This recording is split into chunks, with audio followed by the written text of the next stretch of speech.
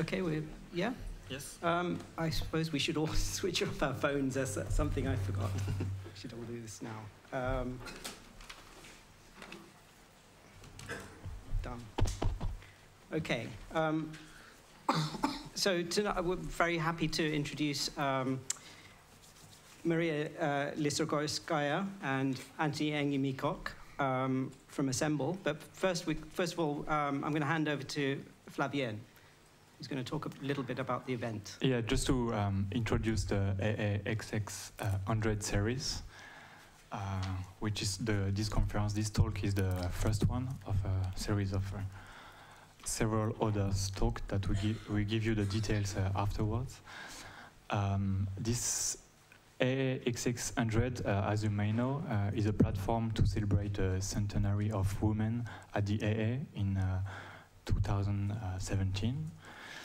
Um, the lecture series is one of the many strands to the project in the build up in the build build up to larger celebrations in 2017, as I already mentioned. Last year, um, in our inaugural series, we looked specifically at issues relating to gender within architecture, to celebrate female figures in history to making it in the professional world, as a fem female-run practice. Um, this year, we wanted to broaden the scope of the lecture series uh, to address the theme of inclusivity, looking at other mar marginalized and non-traditional groups and how the profession could improve to accommodate them better. Uh, that's why having assembled today is with, with tough, really relevance.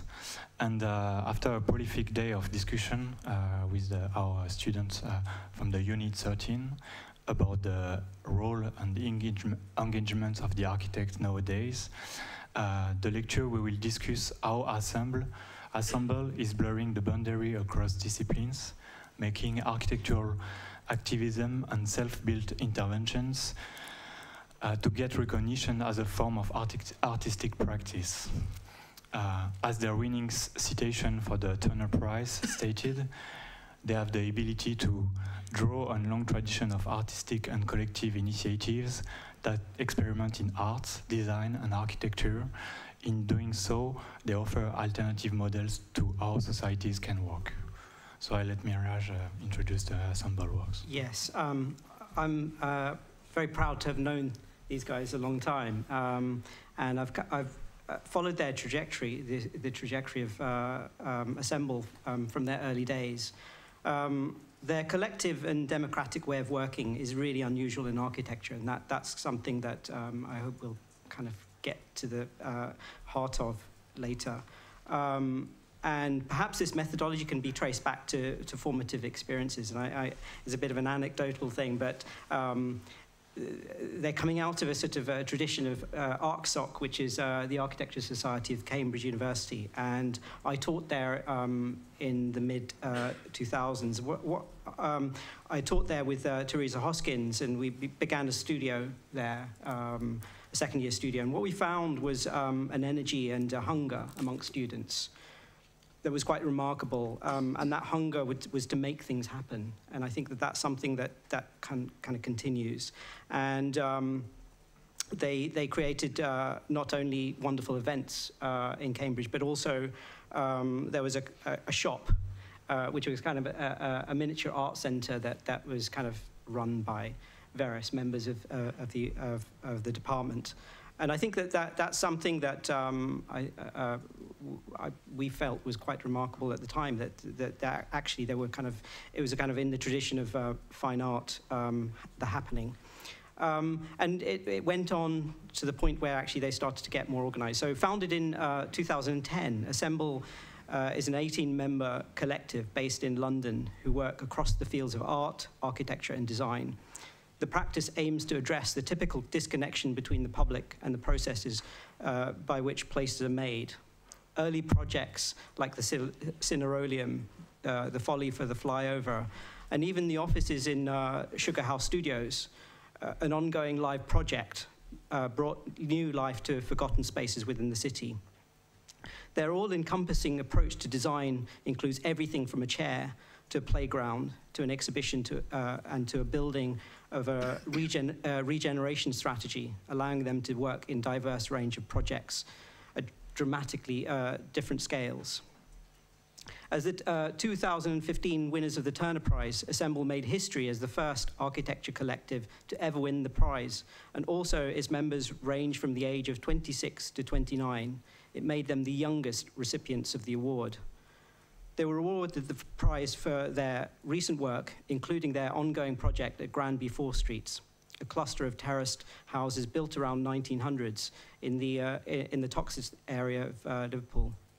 Here, the uh, collective is working with uh, inhabitants and direct actions to prevent the terraced houses uh, from being demolished and also um, um, falling further into disrepair through nurturing of public engagement and collaboration, offering training and promotion, uh, promoting a culture of DIY and making.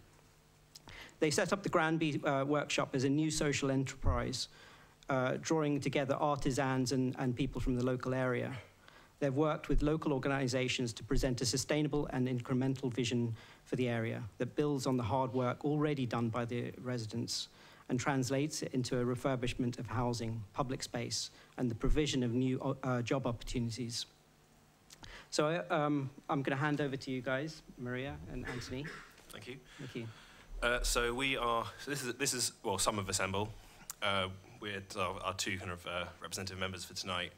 Um, so firstly, apologise if I'm coughing my way through. I've managed to develop a horrible cold overnight, so if I'm slightly sluttery, that's why. Um, so what we're going to do, uh, we're going to try and run it slightly differently to most talks. We're, going to talk for about half an hour, 40 minutes, uh, introduce a few projects that are sort of introduce our kind of foundation myth, get that over and out of the way, and then uh, a kind of few projects that are live at the moment that, that we feel, I guess, give a range of, of methods that we work in different ways that uh, as kind of Miraj hints, starts to unpick the kind of traditional roles of architecture. Uh, more, I think more specifically in sort of time and how much longer we're involved in projects. And then um, open it up to the audience and um, many because we're bored of listening ourselves speak all the time, um, of, of, of, and, and, have sort of more question and answers that, that, um, that, hopefully we get a sort of more interesting conversation about, about not just what we think, but, but, but what everyone else thinks the role of, of architecture and architecture is in the cities now. Um, so as Miraj said, we came together uh, sort of mainly, largely by accident, uh, uh, sort of out of a common desire to build. Um, and that project, the focus of it was the Cineroleum, which turned a, an abandoned petrol station on Clerkenwell Road into a, a cinema space. Um, and it's our first and best bit of press. Um, and, and, and, I think this is when, the, this is when for me, uh, sort of assemble, or, or, we became real. And at the moment where we sort of committed this thing that had been sort of talked about, discussed in pubs and, and casual meetings, and mainly was bred out of a sort of, I guess, a discomfort with working as a part one, where you really have a, a lack of agency and feeling that you're you're working in, a, in, in, projects that you don't really believe in. I remember sort of going to work and feeling like you're making the world worse steadily by what you're doing. And, and, and sort of discussion in pubs and discussion things about, about what would be a nice way to work. And this is the moment where it sort of becomes real, where we had to then deliver. And I guess Assemble now exists as this kind of negotiation that happened on that site. So we came to site with a sort of loose idea, a loose sketch, and, and about 20 of us plus sort of uh, 80, 100 volunteers. At this stage, no one was paid, it's all volunteer, but uh, you know, sort of Central Core had been involved and, and really negotiated through making and through application uh, a sort of collective collaborative method of working. And so here you have examples of, of kind of experiments and devices. So this is a, a sort of um, uh, vacuum forming machine that was built, or sort of laser cut marquetry, or these sort of um, improvised chairs. Um, that kind of um, through discussion worked out a way around the kind of very strict conditions and, and um, restrictions on, on, what we could do. And then we had no money. Uh, we had sort of, I think we ended up with about £5,000 worth of funding from IdeasTap, and everything else came from our own pockets that had to be made up from, uh, from sales. Um, and the overall budget, again, largely deflated by the fact that everyone was working free, but was sort of £12,000. Um, so experimenta sort of process of experimentation and, um, and, and testing. So this was a, a, kind of example of how the, the curtain evolved, that we had the idea of this kind of opulence of the, of the traditional kind of um, opera curtain and a sort of cheap supply of Tyvek material, and so through, through a series of experimentation, work out how you can turn that into the kind of final image. and I guess also this evolved an idea of that design and, and building to be as, as kind of accessible and, and collaborative as possible. And so this is the idea of that each component kind of exists in its own right. So here's the sort of initial drawing for the chair, but that anyone coming onto site could could start, pick it up, improve, and, and develop, and, and therefore feel a bit of ownership of what they were doing, and that, that as, a, as a kind of participant, you had an agency within the project that wasn't just about kind of you being told what to do. And I like this photo. This is a kind of indication of the kind of original, again, the original aspiration of the, the kind of opulent um, uh, picture palace seat alongside kind of our kind of slightly hacking, uh, slightly sort of bodged together interpretation. And then I guess along to that, a sort of, as a sort of working mythology, evolved a, a idea that a space or architectural space is made up sort of much more than just what it looks like. It's, it's about the way it feels, about the way it smells, about the way it manifests, about the way it, it functions, the way it's programmed, and that that traditionally, like I guess sort of the, a lot of the issues traditional architecture, the fact you come in too late and come in too and leave too early, and that actually the, the inhabitation is of crucial. And so this this manifested as this kind of um, complete uh, object that ran for four weeks.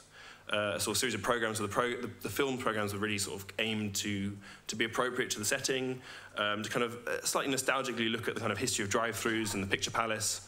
Um, and, and then at the end of each performance, have this kind of sort of transformation or theatrical moment where the curtain was sort of hoisted up and everyone was presented back to the street. An idea that you, you went from the setting of being starring at the street, going through the sort of lobby, back out but into this kind of very dark, kind of contained space that actually felt remarkably removed from the street, despite the fact it's like Europe's busiest, well, apocryphally known as Europe's busiest road, and suddenly kind of being thrust back out this seat, and you become the theatre in this amazing moment where suddenly you have 30 people watching you outside as the, someone described like having your trousers pulled down, where you're sort of very kind of safe and secure, and then suddenly you're thrust back in the street. Um, so, so, I guess uh, we, as, a, as an office, are as much a product of this project as the project is a, as a as a, as a product of us, and we didn't really have any intent to be an office as such.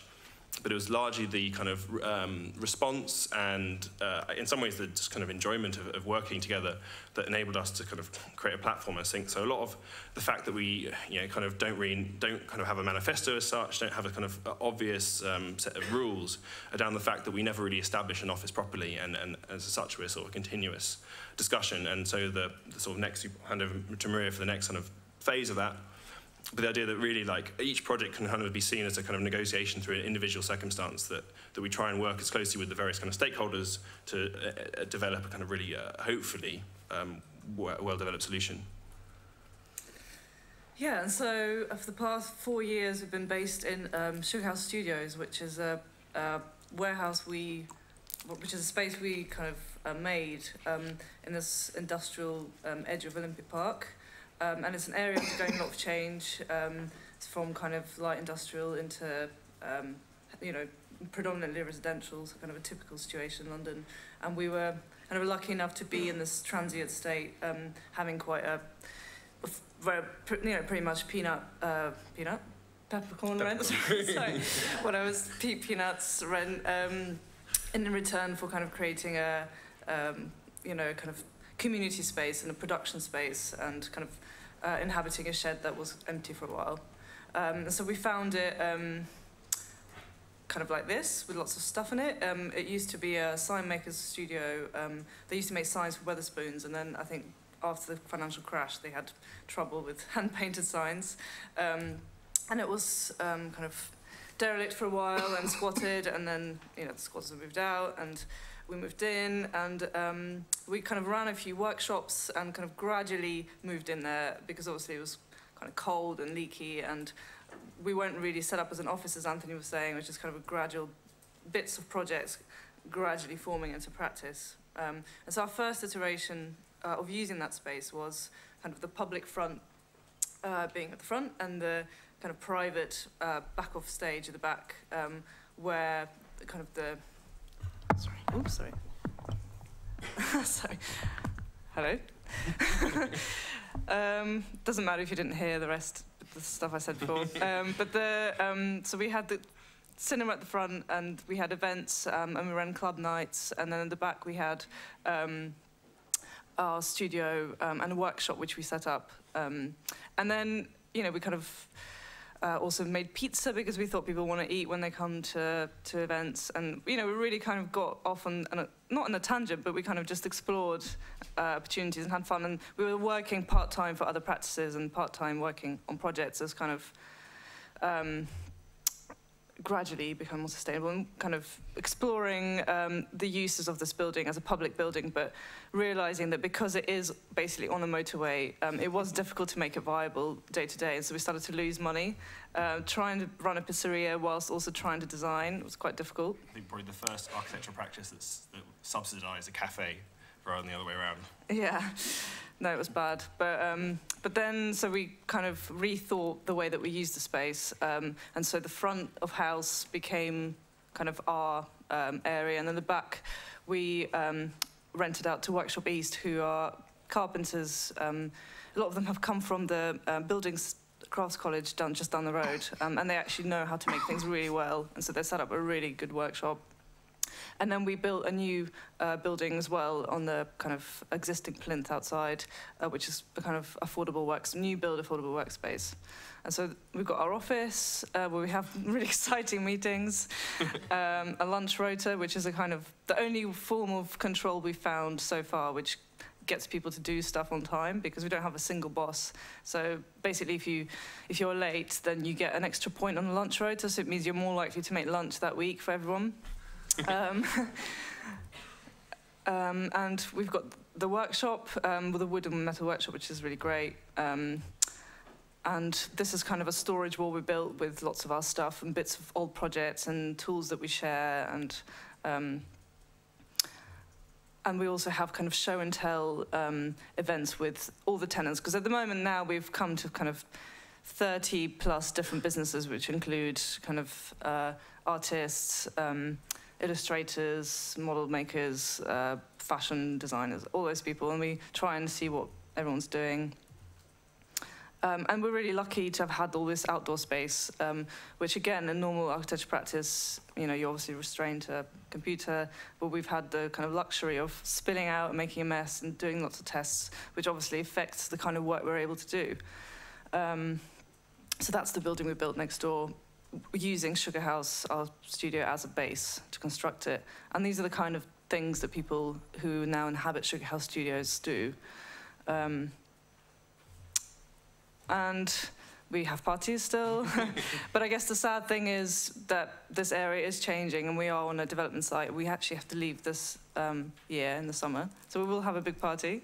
so you should, you should come to that. But, um, but we are looking at new sites um, further afield and kind of thinking of trying to build on this idea of sharing space with other disciplines as a way of learning, which has been really great, you know, kind of having people who know how to do a particular skill and we could we kind of collaborate with them on a project and we you know new projects arise and that's kind of become a really great thing which I guess you get in art schools or, or universities which you kind of lose once you get into practice. Um, so that's kind of the next ambition. It's called open studios and I guess uh, what I've been really lucky is, is having this resources enabled us to kind of to kind of continue the sort of amateurism that we started with, and the idea that that we learn through doing and learn through working with other people, and um, and I guess that the test is now is like trying to, which is what the sort of Open Studios project like trying to. It's like how can you make that sustainable financially as well as as kind of um, um, as well as like uh, sort of design, design processly, like it kind of makes sense design-wise, but how can you actually use that? And you know, we need to work as a business now. We need to kind of survive financially, and I think that's kind of interesting. Like what series of negotiations and compromises you make, um, while still trying to hold on to those kind of initial kind of ideas. Mm -hmm. um, and so moving now to actual, so I guess like our work in the outside world. Um, this is a project, well, this isn't the project, this is the, the sort of the problem of the project, um, which we were invited to apply for a arts project in Glasgow.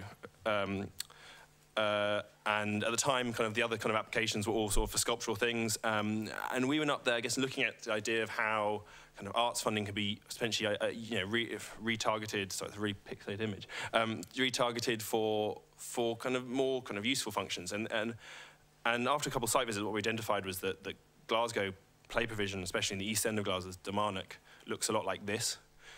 Um, and uh, I guess at the same time happened the idea of, of what, what, we've all kind of experienced, this idea, this, this like kind of joy of playing and the, the value of play and, and I, guess creative practice and, and, really like how valuable being able to explore things are, and particularly in the of development of a child. And, and this is an area where they are redeveloping it, but the redevelopment timeline is 15, 20 years, which is probably, it's long for an adult, but for a child, it's, it's their entire lifetime.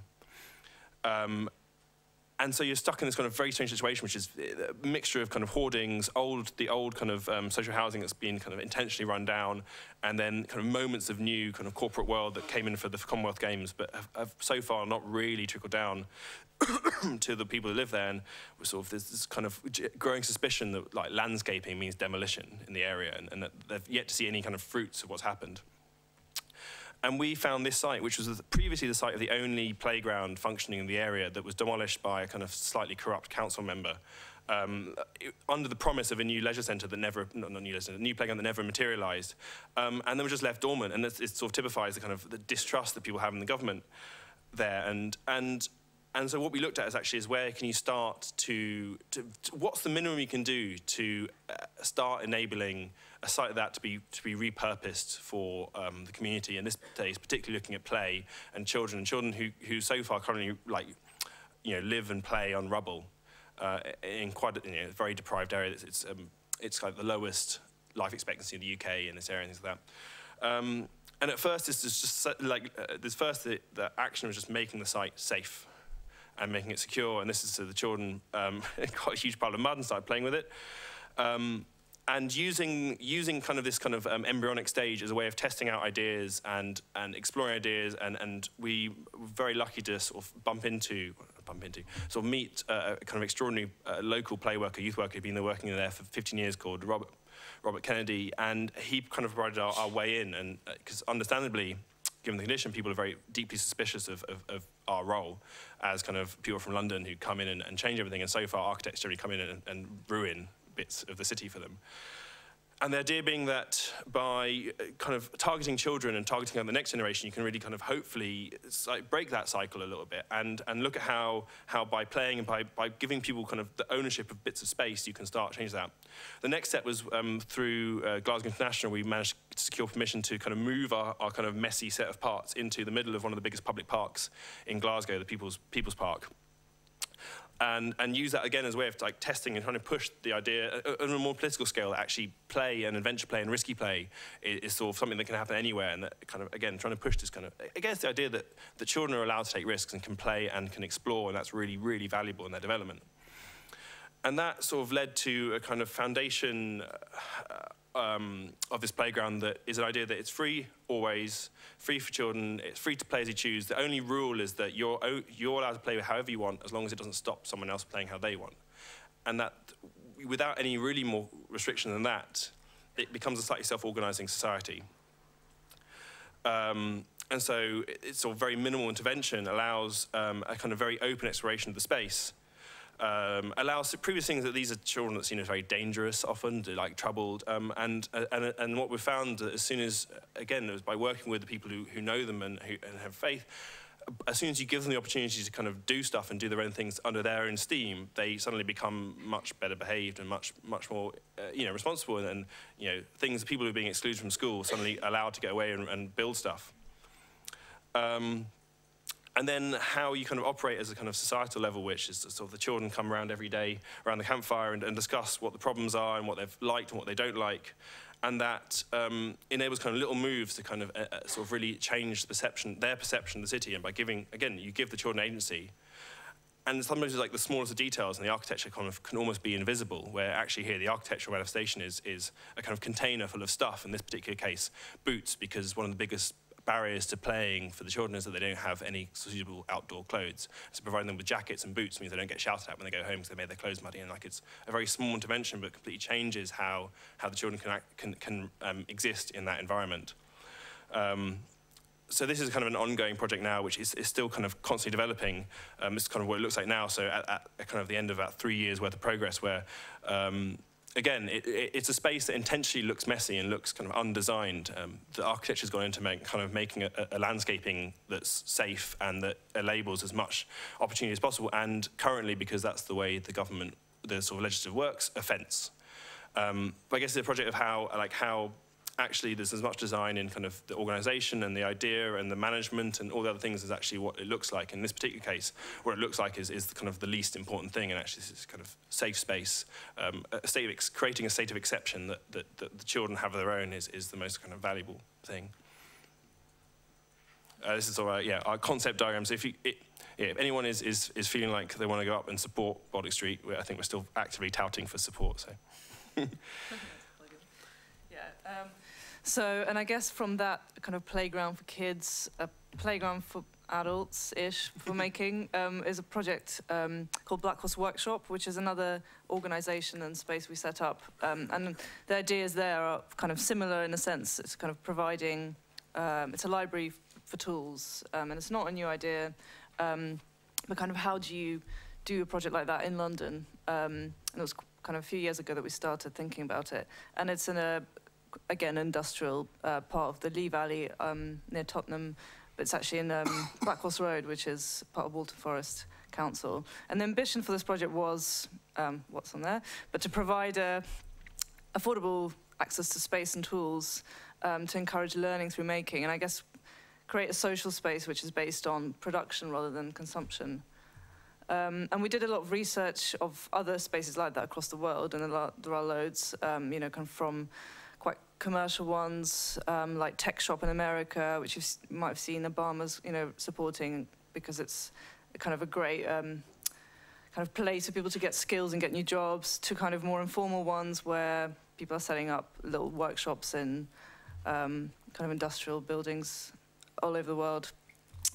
Um, and anyway, so we kind of started um, with the premise that us as architects, you know, our role is more than just designing the building. It's also kind of designing the new company structure, how it's going to run, employing people to run it, um, as well as working with people already active in the community, um, and kind of also finding a time to let go of the project. Um, and realizing it's not going to be perfect. So this, these are kind of the photographs of the, you know, kind of architect's uh, finished um, project.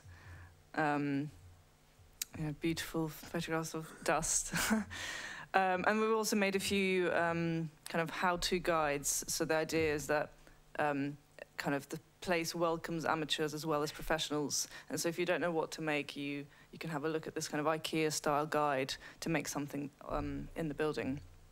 And there's a kind of range of uh, memberships from daily to monthly, yearly, and obviously that various types of spaces you can have um, kind of uh, hot desking, uh, bench space, or your own personal space, um, and that obviously affects the price. But the idea is to try and subsidise as much public stuff as possible, um, and to also kind of host educational uh, programs and community events. And gradually, the you know the place has been evolving, and it is evolving, and it's it's quite amazing because there's a level of control, but there's a level level of kind of chaos, which allows things to pop up like um, this baker's collective built um, this bread oven in the yard, and it's not the most beautiful thing. Uh, it's not something either of you might want to design, but you know, it's it's great because they did it and it works and it's their thing. Um, and there's also a kind of market which um, allows people to sell the stuff they make in the workshop, but also food. And it's a place, it's a way of making something like a workshop more accessible to families and people who might be kind of thinking it's an industrial no-go zone, um, all that stuff. And the kind of things people make ranges from quite niche um, craft objects like this um, beautiful bicycle um, to kind of furniture and installations and jewelry. Someone's making a surfboard. Um, people, whatever, doing uh, baking bread. And the people who are members and who are kind of running it are you know, kind of taking ownership over the space and organizing events, and it's kind of blurring the boundaries of whose space it is, which is really great. Um, and it's going to have a second birthday party soon as well, so you should come to that uh, on the 27th of February.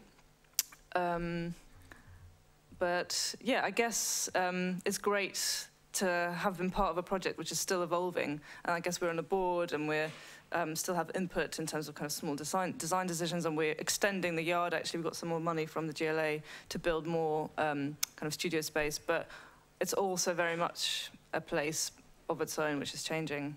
Um, and we're going to, so end our kind of presentation bit on um, a kind of broader discussion about our work in Liverpool, which I guess covers quite a lot um, and I guess grows out of a lot of the kind of um, uh, ideas that those other previous projects had in mind to do with um, you know um, collaboration with people and, and really being in, and how you know you, how how you share ownership of the project with the people with with as many people as possible and the, or the people who are involved in the project with you that um, you're not sort of coming in here and dictating.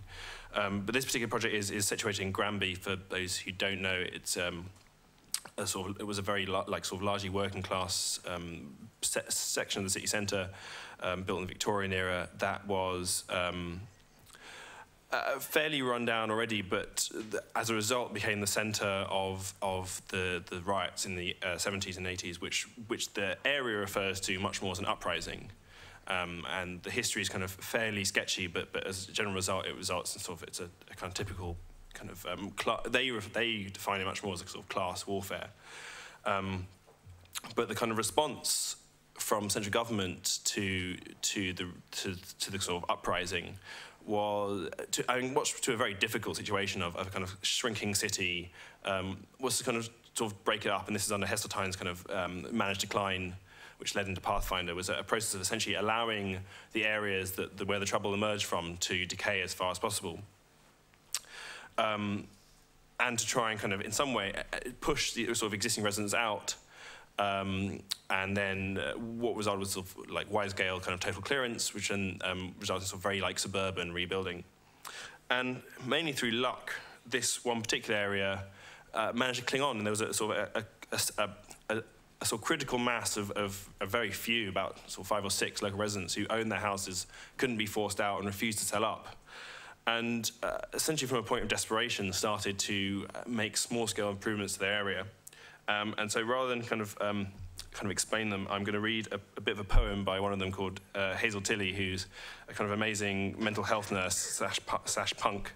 Um, and I, I, guess what we feel with again with the project as well with the Turner Prize that we're not you know what we're not as social historians are very good and so it's, it's kind of it always feels like you're awkward trying to um, explain someone else's story so it's a much better way to letting them do it themselves so houses are knocked down because someone who never walked down Granby Street knows how to improve our area and the best way for us to live and people moved out because the shops are closing down and the area is neglected and the other people the ones who know the best way for us to live smell money so they ignore the history of each brick and slate and skirting board of each life spent in each house they interfere with the lives of little people who don't know the, way for, the best way for us to live.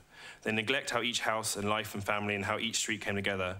And the people who know the best ways to live remove the lead from the roofs of the houses they emptied to stop it being stripped and stolen and sold by us who don't know the best way for us to live so that we can't drink, buy drink and drugs or heating or food or pay our bedroom tax or buy a present for those we love who also don't know the best way for us to live. And money and ideas and promises change hands between the people who know the best ways for us to live and the people they consult because they too, the expensive, useless consultants, know the best way for us to live. And we don't go, so I'm skipping a middle bit out because it's a very long poem, but, um, and we don't go away. And bit by bit, we reclaim our streets and don't, and you don't help. You can't think small enough to know what to do with people and their messy, organic, piecemeal lives, with dreams and values, and who have found a way to live. And in a messy and piecemeal way, the rain stops penetrating the houses, the weeping floorboards are comforted, and the people move in, and the lights and the streets light up. And sometimes on Wednesday, the bin men drive round, and nobody gave much thought to where to keep the bins, not even you, the lots and lots of you who knew the best way for us to live. And so I, I think it's kind of really nice is it kind of explains what they, what kind of what these people felt, and and and what they also feel they've managed to do through, again, through through a sort of essentially from a point of desperation. And, and, and we sort of came in at a very kind of serendipitous moment where they'd had a few kind of meetings with other, other architects, um, which hadn't really gone anywhere, not through any sort of particular deceit. Uh, and and had just secured um, funding and permission from the council, which, in its credit, had sort of sort of seen the issues with their previous model of sort of tabula rasa development and how it hadn't really delivered the kind of social improvements that, at the time, were, were kind of expected. I think it's very easy to be very kind of heavy-handed and criticism critical of the government, but you know they weren't necessarily always. They didn't necessarily think they were doing what they were doing was bad, maybe just misguided.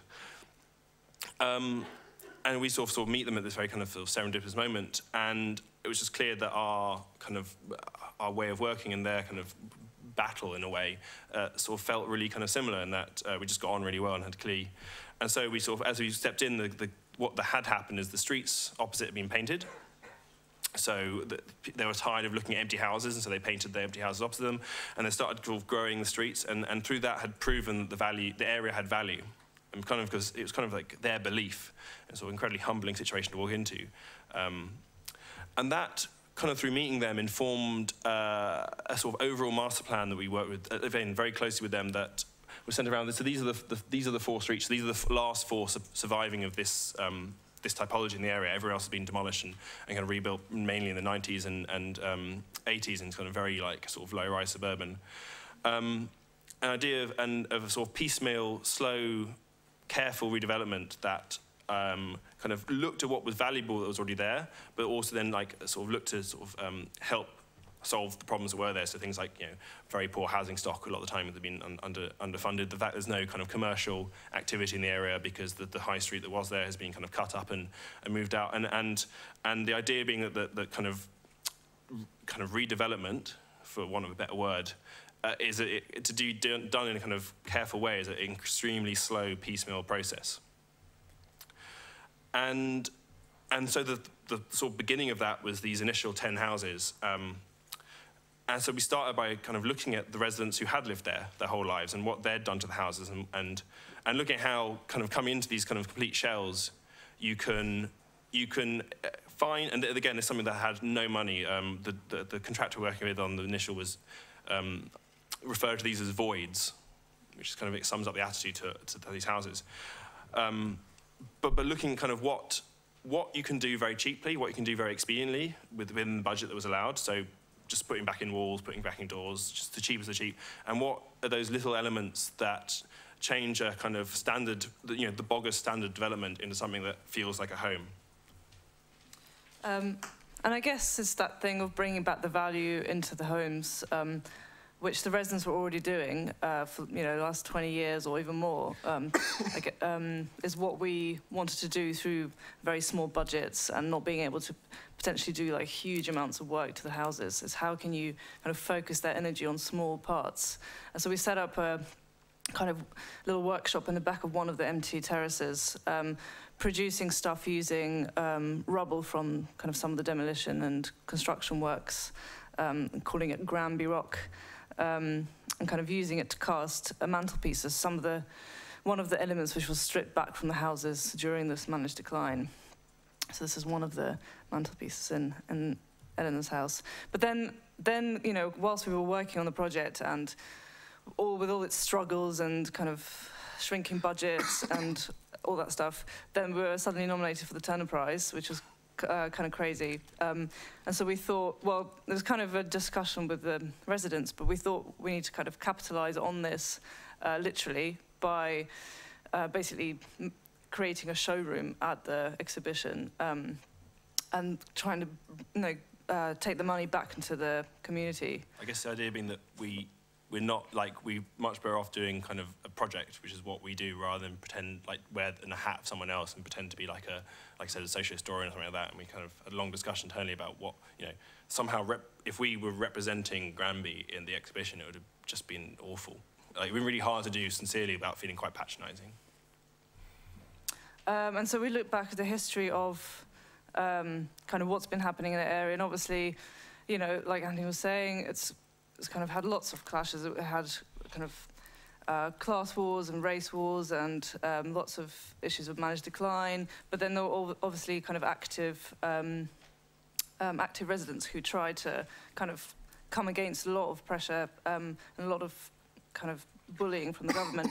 And so learning from all the stuff that has been going on there, um, how do we kind of use that kind of initiative and enterprise and kind of help it grow and make the area kind of desirable again, not just through housing, but also through jobs and businesses and uh, manufacture and all that stuff. Um, and so kind of basically taking the initial instinct of creating these uh, objects for you know the 10 houses that we were working on but turning it into a bigger enterprise into kind of a workshop for making more things for more houses for kind of people across the area and beyond um, and so kind of uh, the Granby workshop idea and working with some of the residents that we already met who were active in the area and also others who we met through the kind of uh, being there process um, and kind of working with them to set up a community kind of a community business social enterprise whatever which is run by them.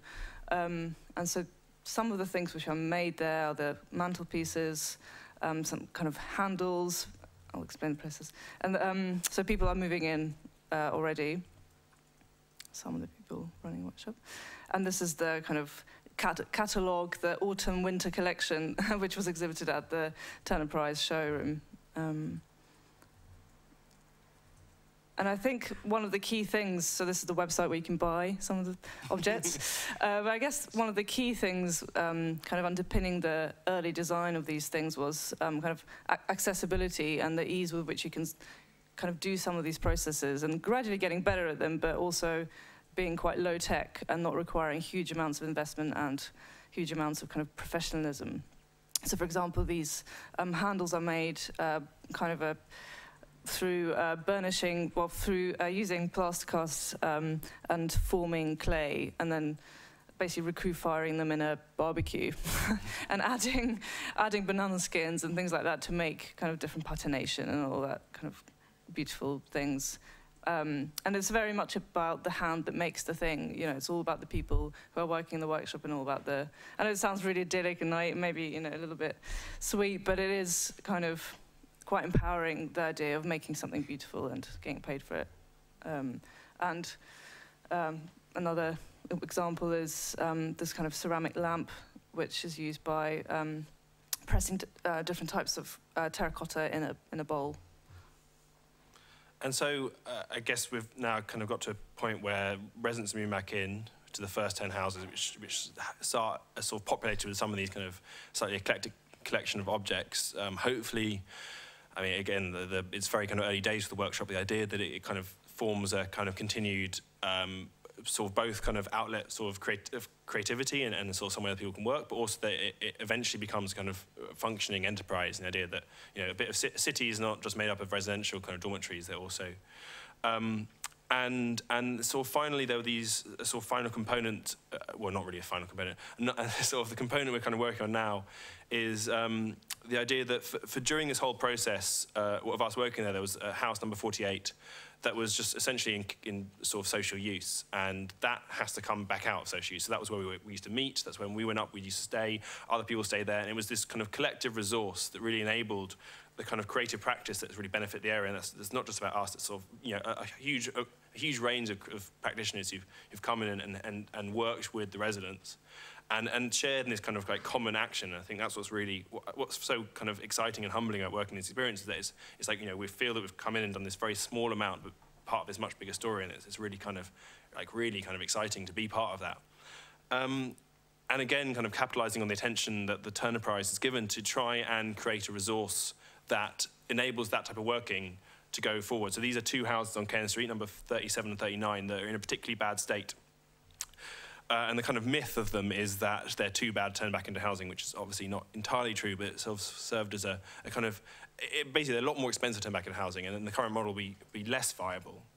But that also offered opportunities. This is kind of a slightly ugly working drawing now, because um, this is uh, offered opportunity to to do something different. So this is our kind of current, just gone in for stage three, just has just received £250,000 from the Arts Council, which is like the lion's share of the funding. The idea being that you turn, turn this kind of extraordinary triple height space into a, a winter garden. Ooh, um, that's kind of a public space that enables sort of meet, like social meeting, communal meetings, but that's backed up by, which is this other, other bit of the house, a kind of ongoing students re studio residency space that both enables um, the whole project to be sort of cash neutral. They can rent it out as like an Airbnb, but also enable them to invite people and the community to invite people and host people who are interesting, interested to, to do kind of uh, work that's based there that is kind of mutually beneficial. And they feel that like there's a lot of really exciting people who've come in uh, of which we're kind of one, but alongside all sorts of others, and to kind of enable that going forward and this kind of continued socially community-owned and community is one of these words that's kind of very fuzzy and doesn't really mean anything, but in this case, like community owned, community managed, self sufficient in a kind of context where, uh, you know, uh, I mean, I'm always slightly uncomfortable with this idea that we're sort of big society writ large, but I guess the reality is that there's no state funding, there's no, that's not going to happen in this kind of concept of austerity. And so they have to do something that kind of is self motivated. uh, that enables kind of more of this work going forward. And so these are kind of our our kind of initial kind of uh, sort of concepts of the working space. Um, and it's kind of hopefully uh, starting on site this year and uh, open at this time next year. Um, so this is kind of the sort of final kind of concept drawing, which is touted out quite a lot. But the idea being, it sort of feels like a quite nice place to end, of um, kind of the, learning from the kind of the, the fact that the residents first, I guess, first reclaimed the street by planting it up because they were sick of how how redundant and how kind of left derelict it was. Um, that kind of moving that back into the houses as kind of final act seems quite um, quite kind of nice. Um, but yeah, like I said, this is part of like a sort of, I guess those, those, those projects we've shown are all kind of ongoing. I guess they're all very light on architecture. Um, traditionally, uh, you know, few icons and few kind of things, but the idea being that, that all these are very like slow, long processes of really kind of working with and, and collaborating as a, with people and the idea that, that you know, that probably none of them are necessarily 100% secure yet, but that, that hopefully they all kind of suggest ways of, of different bits of city can, can kind of be kind of be activated and be and be shared. Anything to add? It's perfect. Um, yeah, no, it's, it's been a great collaboration. I think we've learned a lot from them, so that's been really nice as well. So hopefully that's like yeah we're going to open d- discussion.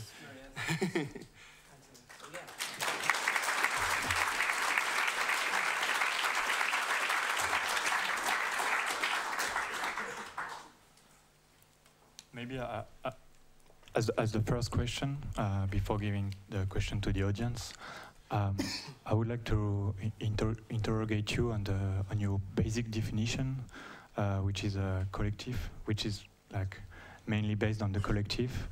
Um, today we had uh, Maria gave us a small presentation, not about your work, but about your influence, and uh, there were a lot of um, community and collective groups, but more mostly from the 1970s. um, but you can really see the fascination that uh, you have for, for, the collective. And uh, my question is, um, what does it represent uh, today to act as a collective? Um, what kind of value are you defending through your collective?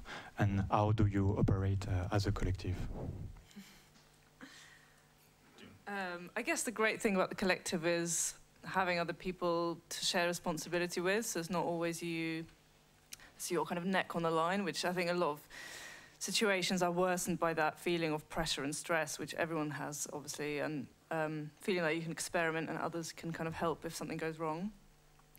So I think that's really important to kind of challenge some of society's issues we all face. Um, and I think yeah, and I mean, there are lots of different forms of collective. I mean, we're one type, but, you know, there are different types um, existing, not just architecture, but across different disciplines. Um, people kind of sharing uh, resources, whether they're drawings or music or, um, I don't know, medicine. And um, I think it's interesting to see how it evolves using kind of social media. Know it's such a cheesy thing to say, but you know, I know people who collaborate with people across the world, so it's not necessarily about having the same space. Um, but maybe for architects at the moment, it is easier to do that. Um, I think though it's like also like I guess we, it's it's very personal the way we work. It works for us, and I don't think any, like I don't think it's a thing that we have like a, a manifesto that's copyable. You know, we've we've over like five years like negotiated a way that we work well together but it's a really sort of personal response. And I think that you know that's what's really exciting. You know, it's kind of it's evolving. It's this kind of sort of slight mass, and I think that's really interesting. And I think it's the idea that you have this like collective hand, but there's not a there's not like a I guess it's not a dogma behind it. It's a it's a very personal response to the way we think we like to work, and whether or not it applies to other people is, is sort of something that's I think is is up for other you know each person to make. But I agree with Maria. But being able to share authorship is really interesting. It gets you out of that, that kind of hole of being kind of sort of stuck doing your own thing in a corner and, and not knowing where to, you, know, you can always ask someone to help. And actually, the idea that, you know, an idea that goes through 20 minds is better than an idea that goes through one a lot of the time. The, the, uh, and also, I think I'm um, just uh, um, the role of making, which seems to kind of bring you all together, um, and the idea that you can make, or, or the, the, the process of making with few resources, but somehow making something really beautiful as, as you have. Um, could you just talk about, because I know that you, you guys teach and, and the, the role of making and, and what, how important that is. Because it seems to me that you're, you're unencumbered very often by sort of standard ways of doing things, so you can kind of just kind of go and check something out I in the yard. Yeah, I, I, I agree. I think it's like it's like it's like not being scared by the fact you don't know how something works. Mm. Which I guess we're as a profession, you're so often taught that you need to know, and you need to have answers, and that Mm. actually like you know you, you, the architects are supposed to be the experts, supposed to go in and know, and actually just being kind of embracing the fact you don't know anything, and and that enables, I guess, then then making and exploring become sort of crucial to that, Mm. because it's it's how you just start discovering things. Is you you kind of come up with your initial ideas, you you test them, you play with them, and you know sometimes they fail, sometimes they work, and and so that kind of the making is a kind of intrinsic part of that exploration about how things start coming together. Yeah, no, when I, when I was a student, I found it quite difficult to really get into detailed drawings and all that stuff because I found it so abstract.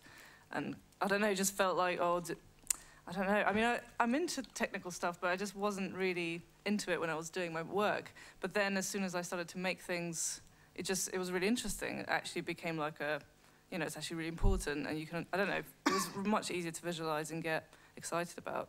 Um, I also think like the act of creating is the act, when you make something, you have to make a whole bunch of decisions very quickly, which is really uh, like it's really helpful in a way. Like you know, by making something and by making something real, you're, it forces you to go through that process, and like you can then afterwards kind of look at them and be like, oh, that was good, that was a bit shit, and, and you can talk about it, and it kind of yeah, it's like this idea that you have to have the kind of default answer and that you start with like this really clear knowledge. I think is yeah. But I think that's, you know, it, it- it's, it's often the way that artists will work, is that kind of directness, um, the direct contact with the material, but then that contact starts to become a way of communicating as well. I think that's really interesting. Maybe we should uh, open up, so it's not just me and Flavien talking to you. um, yeah.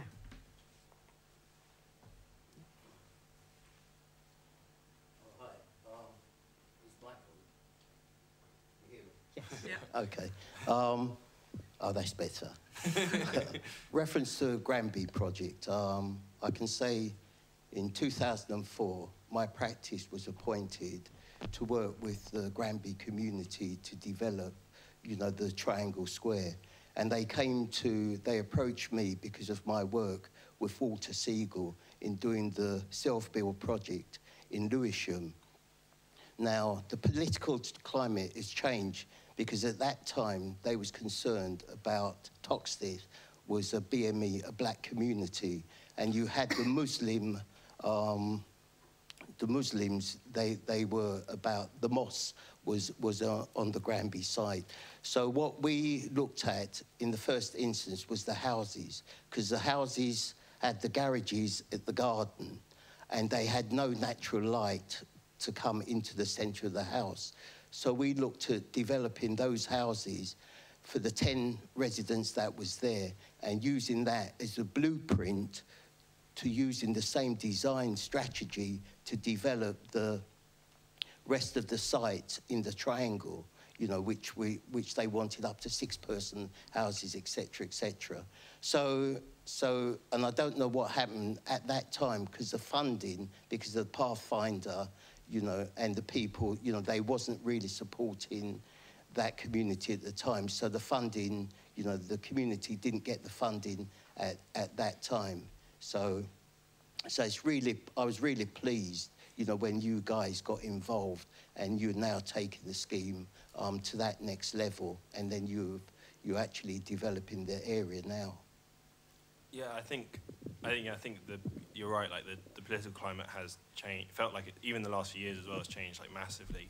That I think it's probably yeah. I don't think it would have been possible about ten years ago. And I think I feel it feels like the council like internally for you know who have a, a just a different a very a different attitude now to ten years ago about how they and how they deal with it because a- a lot of I don't know what you feel but like a lot of the, the it feels like a lot of those kind of early developments that were just kind of wiping stuff clean have have really not done particularly well. But yeah, it's a shame, I guess. Yeah, we came in quite a lucky moment. Um, but it'd be good to chat to you more about what you, Yeah, we- what yeah, were good to know doing. Yeah.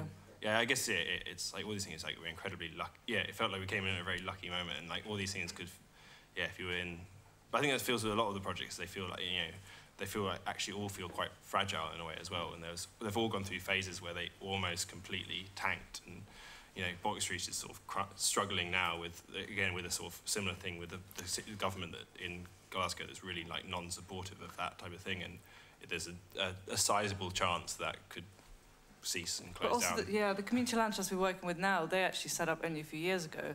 Before them, there was the, yeah, it was the Granby Housing Association, whatever, and they they were the ones coming up with other plans before, and then they struggled and had a few kind of mishaps. So it's been, yeah, a lot of people have actually paved the path, but then weren't able to take it to the, to the thing. Um, I see- There is a question there. Okay. Um, what do you think about form in architecture? Is it something that, uh, do you have any fascination that is a priori in, in making form, or is it always something that you find along the way? Does it ever occur to you that you're doing something in the making and you look at it and it's horrible and you destroy it and uh, begin again, or you're always happy with the results of your findings? Um, I, n- I mean, no, no. Like, like a good. Chunk, I think the whole point of like exploring is that a good chunk of them fail, but like it's almost like you embrace the failures as, as part of the process. I think. Uh, Yeah. I, uh, yeah, I don't know. I guess it's, it's hard. Like, yeah, this form is obviously still important, but it feels like it's it's not the overall driver. In the end, it's like the way that people use the spaces is is what fundamentally is at play, and the way kind of people inhabit them, and that's like the central question. And form is a, is a important probably facilitating part of that, but sometimes it's about knowing when like the, the way it looks is sort of equally irrelevant. Sometimes something really ugly can be very, very like really valuable. Um, equally, something very beautiful can be completely pointless. But I guess it's it's also, sometimes it's economic, like Yeah. a yard house project where a square plan makes it cheaper to build. I guess we're quite, we are like generally we're quite pragmatic. You know, it sounds not, it's not very sexy to say a lot of the time. People don't like, but a lot of the projects that because they come from yeah such like constrained situations that there's like often there's a, like there's a you have to make a lot of compromises. I guess.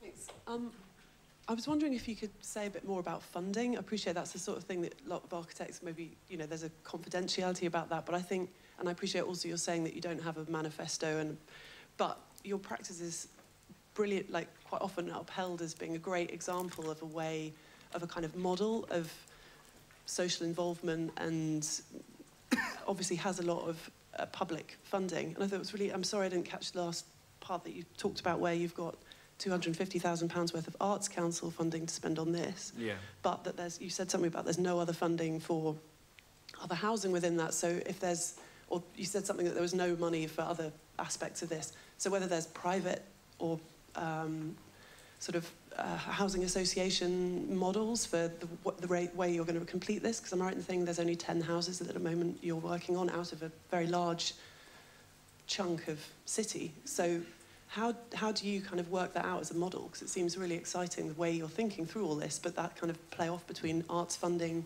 public funding, private funding, it's be great to hear more about how you work that all out, or whether there's, that's just sort of something you're working as, as in a pragmatic way too.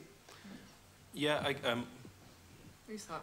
Um, so with um, i- in that area, it's like um, so we're we're one of, I, like I said, like of before the, the climate in that area has changed generally, and so there's now there's a cooperative that has a chunk of houses as well, and so there's we're not the only people working in that area now, which is.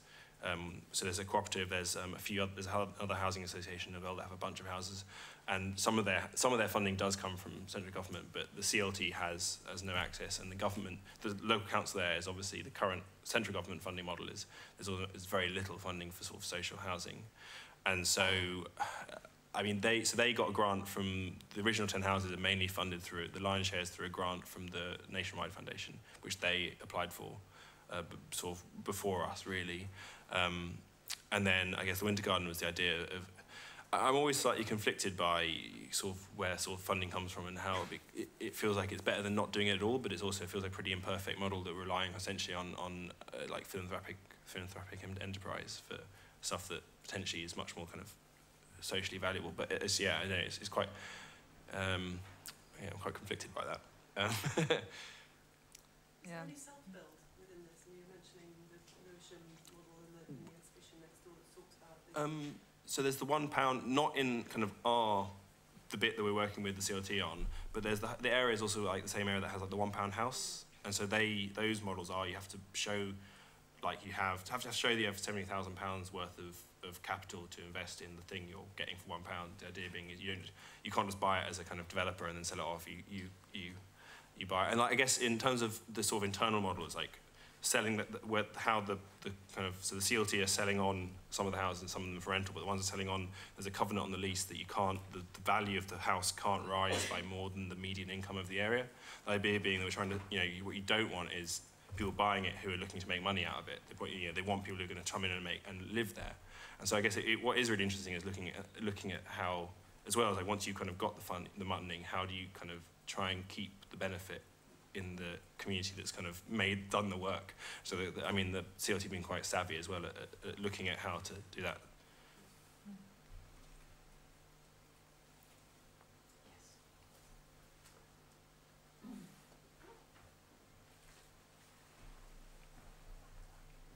I've just come today, you hear me?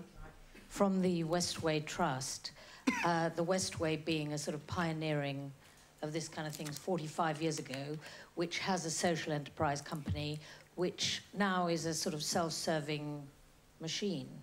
And they've just kicked out the stables that's been dealing with autistic children things. And they are going to get a huge amount of money from Sport England to make a what they call state-of-the-art stables under the motorway, and they're just alongside the traveller community. And we've been trying to talk to the traveller community and develop the idea of a heritage museum. And um, the, the chief executive of Westway said to us, "Oh, the travellers are not our tenants." And you know, it's such a hor- there are 30 horses that have been, you know. anyway, how do you stop wh- what you were saying? This difficult thing of how do you protect those? All right, this is 45 years, but it does become a very difficult issue. You know, and there's been a lot written about charities recently becoming self-perpetuating machines. I mean, they literally have just written in that the um, money from property must be to be you know, covering the costs of the trust itself, i.e., their salaries. You know, I, I don't know how you defend against that, but it is, you know, the whole problem of regeneration, however idealistically it's done, runs the risk of eventually going that way. I mean, what, what defences for the future other than the wind and the sand of um, Magnus Larsson? I don't know. It's a difficult question, but um, no, it's a it's a thing. Yeah, it's a thing. There's a lot on our minds. Some of us, anyway. But um, I guess it's about trying to get as many people involved in the project who have long-term power over the project. I don't know how you do that yet, but I guess. Um, It also, I guess, it feels like time will like it might not work. That's the reality. I think that's kind of the reality of things. Is like, you know, you know, intrinsic in that all these like they might not work. They might completely, you know, it's five years in. Like this is like a couple of years in. I mean, we're our involvement is a much longer process, but it might, yeah, it might go all go tits up and. or it might become really desirable hot property selling for millions of pounds, maybe, I, I guess which will make it worse. it feels like the only thing you can do is kind of be aware of it and hope and like i guess by working really closely with people who are kind of intrinsically kind of bought you know it's their project not ours in a way. It means that you kind of believe that they're doing it for the right reasons and it, you have trust in the people you're working with but equally you know the reality is if they choose that if they change their mind tomorrow it's But also it's realization, like there was that um, the history of our streets program, and one of them was uh, you know Arnold Circus, and the fact that the social housing built there was built on slums. So you know the people there before who moved somewhere else. So there's kind of you know idealization of social housing. Actually, you know that's also problematic. Or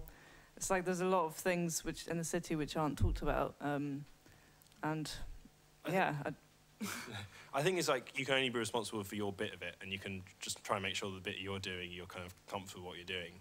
But I think the reality is that things that other forces are always going to shape what's happening, and I think as long as you're comfortable with, with your position within that, that's I guess all you can really do. we don't know basically.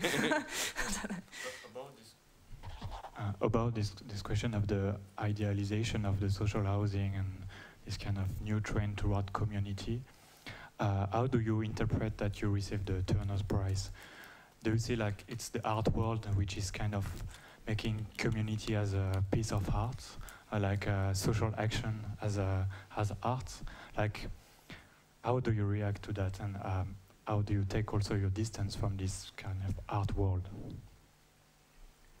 I guess, well, we can both answer. I guess that was the kind of first worry when we first heard about it, being like, what's going on? Um, we kind of saw it as an opportunity to, to capitalize on it and make a project out of it, which could benefit the wider project. Um,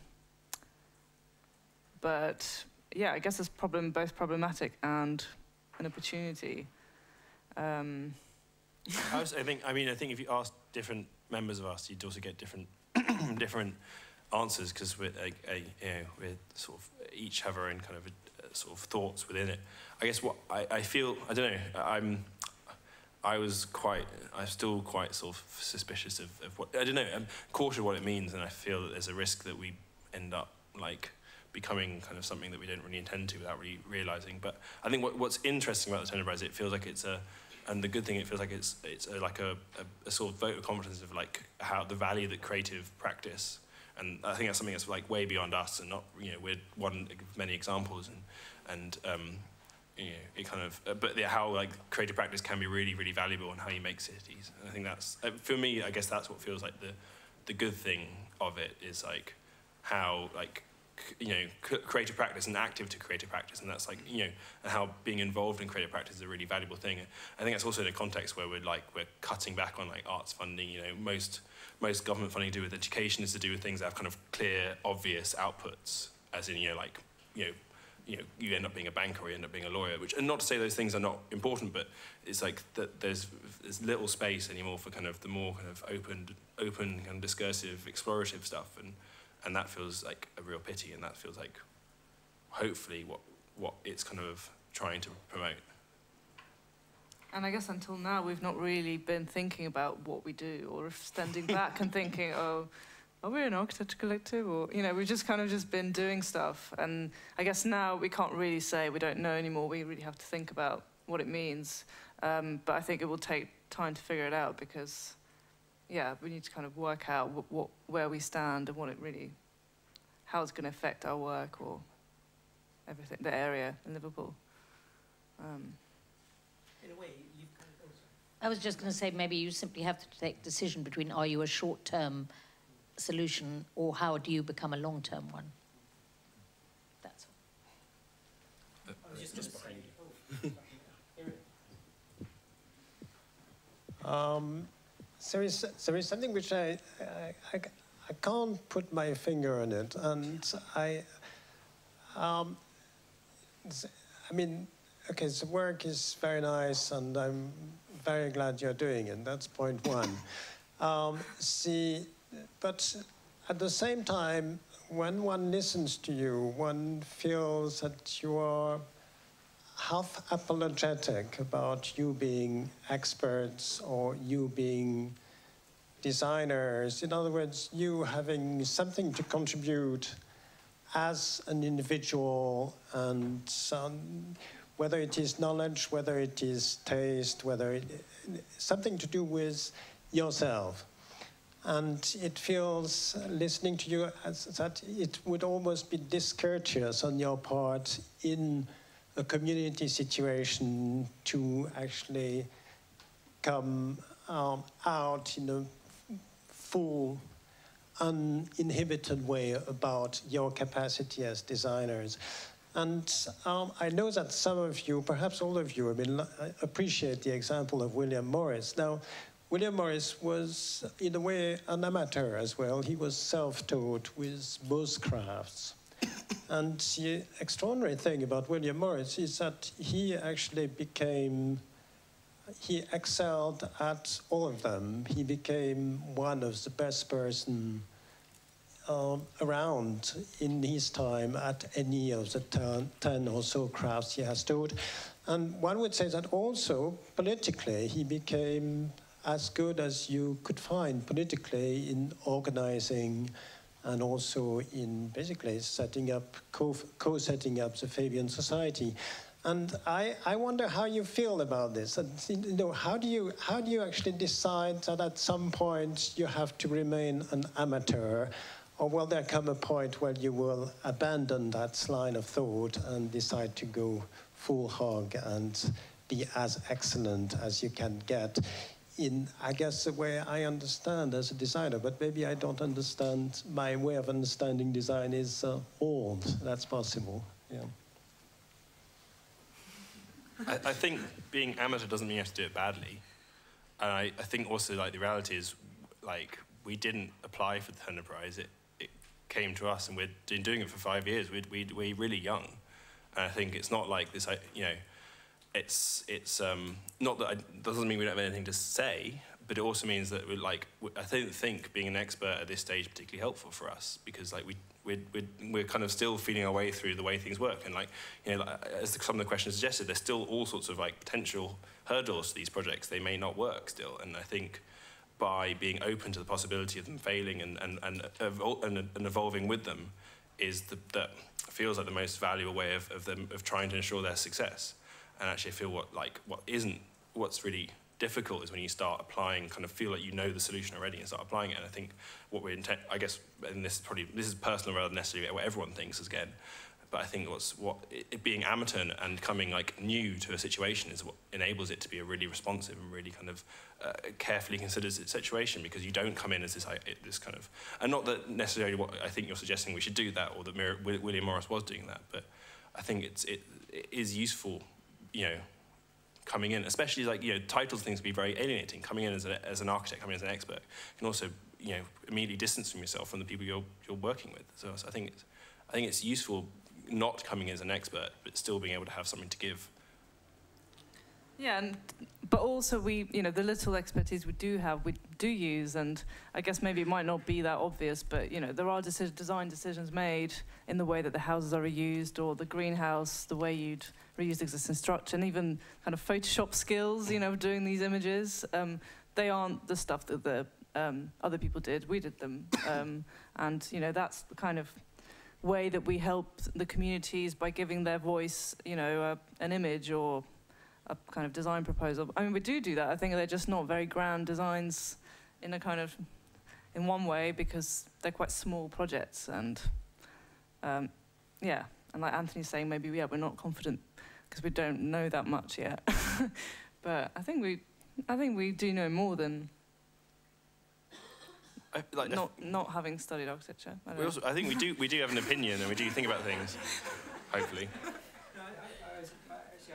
I was going to say that actually I think you do know quite a lot now um, because I, I think that you kind of know how, how the system works. With all the kind of things, I mean, I'm going to, there was a, your Croydon project where you basically um, you did a one-to-one live kind of experiment, and then that became a kind of way of designing.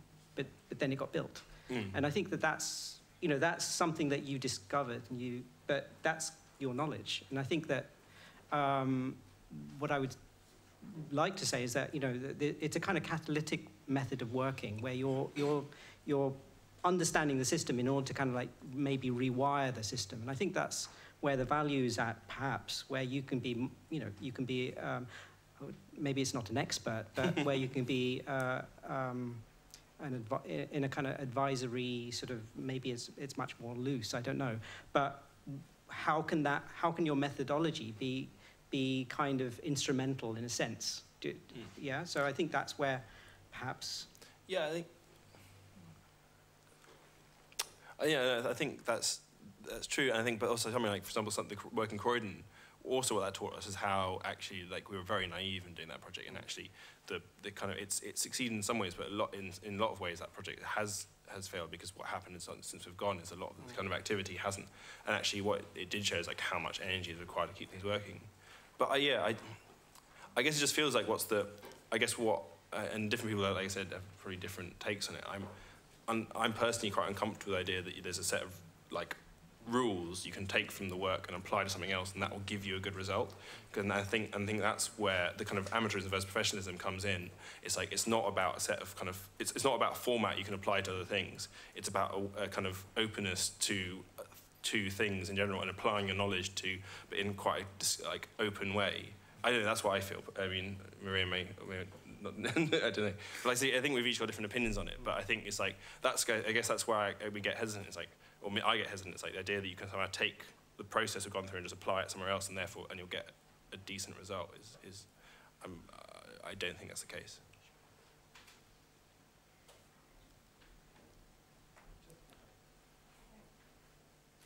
How did you all meet, and how do you? So you, you're architects, but you've met artists, fashion designers, all sorts of other people who've come into the collective.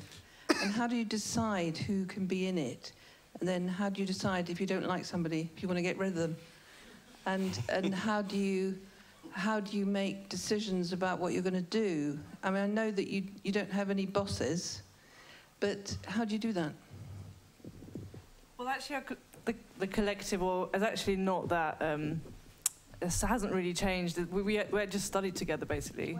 Um, we studied in Cambridge, um, and that's how we met. And it was just because there's a group of people who studied architecture, pretty much almost all in the same year, um, and just did something together because those are the people that, you know, we knew in that field. Um, and then, to be honest, it hasn't it hasn't really been that flexible because it's just not been a thing that's anyone organised. It's just a collection of people doing projects. Um, and the other designers and artists and fashion people are actually um, some of the tenants in Sugar House Studios, but they don't work with us on projects. We are slowly collaborating with new people, so that is happening, but it's just quite difficult to figure out how to do it as a financial and governmental thing. Um, and decision making,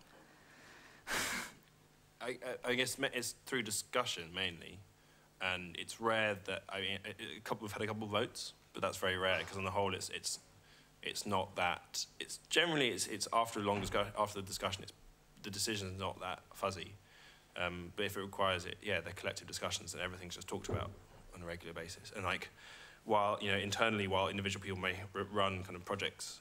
The, the idea being that you, it's not your project, and if someone questions what you're doing, you kind of it's your kind of also obligation to kind of explain it and justify it, and things can change. Um, and that the same, I guess, the same then applies to people you're collaborating with in the project outside. I don't know. We haven't really grown yet, and we haven't had to kick anyone out yet. So um, I don't know how either of those things would. I, we're, we're kind of something we do talk about, but we don't have. I guess it, it feels like uh, yeah, it's very much a case by case basis, really. And there doesn't fit feel there's not much system to it the, like the main system is like lots and lots of talking. I have, a question about because in Europe nowadays there is this kind of trend um, um, using the same not methodology but the same beliefs, sharing the same beliefs that you have. There is a Rotor in Brussels. There is Exyzt in France. They belongs to like a legacy of uh, Lucien Kroll and Patrick Bouchain. And so, do, do you think you are representing something like the, this new generation? Do you think you're representing like a a new movement in Europe toward uh, more uh, engagement in the in the role of the architect? I'm not sure if we're doing that consciously, um, but I think, for example, the Exyzt project in Southwark Lido in 2008 has made a wave because it's kind of helped some people like practice architecture, who are our friends, to kind of make a project and kind of and you know the kind of exhibition and the um, Venice Biennale that they did. This kind of thing of ma- making things yourselves and working as a collective, I think, is in people's minds. I don't think we, we didn't, again, we didn't make a conscious decision of setting up a collective, but I think, I'm sure that kind of context has made people feel like it's possible. Um, I think people have different opinions about this, but, you know, I'm sure you can't avoid the context of other people doing stuff. Um, and, you know, we are aware of their work and kind of some of us know them and, but, yeah. I guess, it feels like we're probably like just in yeah we're part not yeah we're sort of part of a, a kind of I guess a growing dissatisfaction about how removed removed kind of uh, you are from most of the big decisions about architecture and built environment cities and a kind of in some ways a quite instinctive reaction to just do things as a way of of of, of starting to give yourself some sort of agency and so I guess it feels that there is a it almost feels like it feels like because it swung so far away from it's kind of it feels almost natural that it's kind of there's a reaction to that, and then yeah, it got so much into the hands of sort of developers, and they sort of led that we're kind of a part of a uh, of a Yeah. of a kind of yeah, it's like a you know pol- political kind of like natural swing the other way again. And also as part of our education, you know, Miraj is part of that. The kind of idea of the auteur, the architect, the architect is not is not necessarily the ideal way forward, and that actually looking at the public and doing things, getting things done is is you know a thing to be valued. So I think that's been instilled in our education as well. Um, yeah.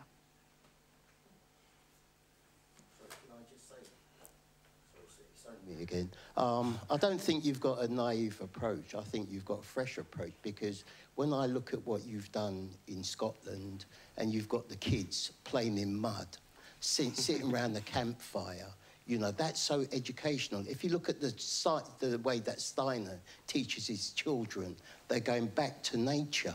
So I think what you've got is a different approach. So keep it up. Oh, thanks. Thank you. There is a question in the back.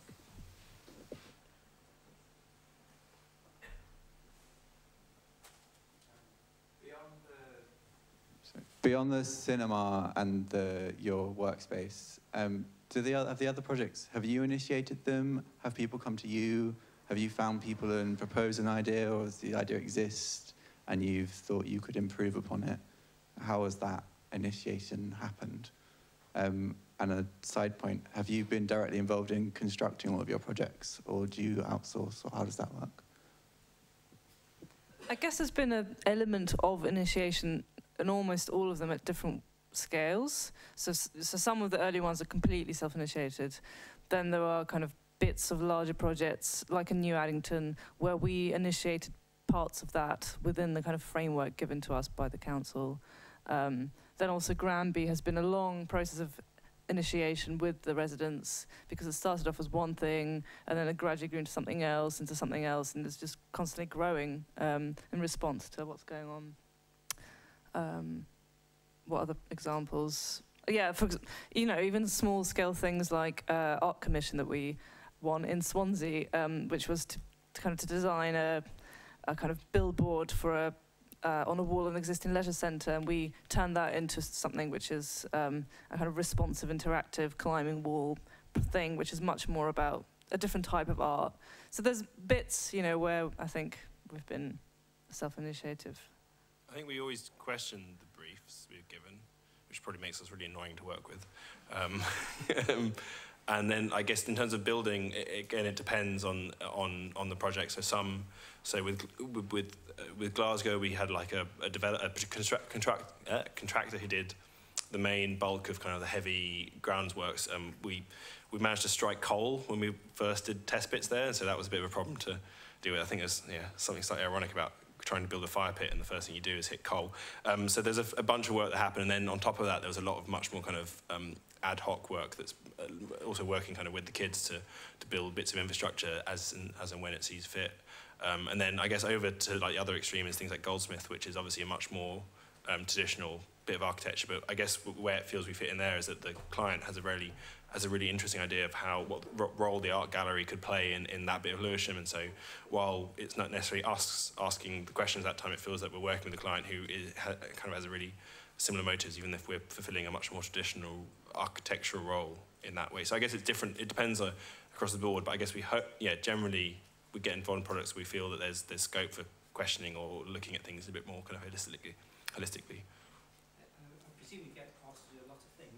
And I'm just wondering, because uh, your origin or the original thing was that you found the thing that you wanted to do. Do you still do that? Do you still kind of like look around for something to? Yeah. trying to. Yeah.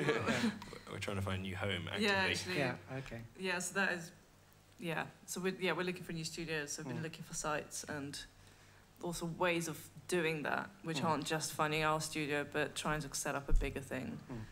Um, but it's always in people's minds, and it is hard. Yeah, I think we are still doing it, but And even like things like so, like the Winter Garden, while it is a commission, was an idea that was first put forward for a different project in Liverpool as well, within like the same that was uh, about when we were looking at a kind of a large development, and so like it's and it feels like you know it, it's an, something that we've talked about with them a few times, and it's so I guess it's like it's still sorry, still kind of yeah, trying to yeah, trying to sort of self-initiate things and like it's I guess it's again it's like a spectrum between some, some that are completely kind of us involved, which like is like our new home and things like that, versus to some that are kind of much more collaborative with other people.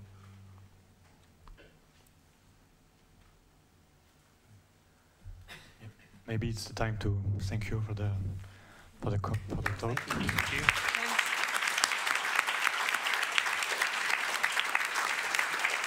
Thank you. And just to keep you updated about the uh, AAXX100 series, uh, the next events will uh, release on the 22nd of February, uh, interrogate, interrogating the Lawrence legacy, challenging racism and celebrating diversity in architecture. And the third events uh, will attend the 21st of March. Uh, by it, it will be doing disability and arch- architecture dis- uh, differently. Thank you. Thank you for coming.